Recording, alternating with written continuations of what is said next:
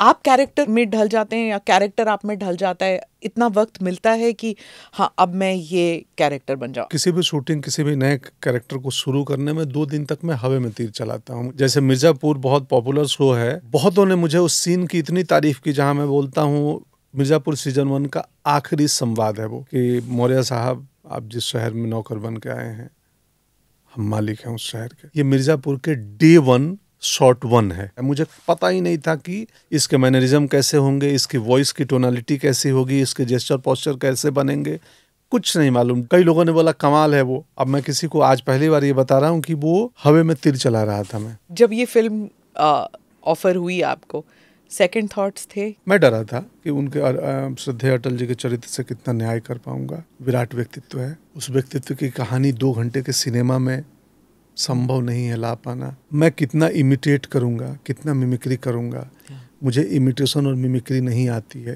तो मुझे लगा कि आकार को क्यों पकड़ना? जो निराकार है उसको पकड़ो ना। आकार तो आज है कल नहीं रहेगा। हम्म।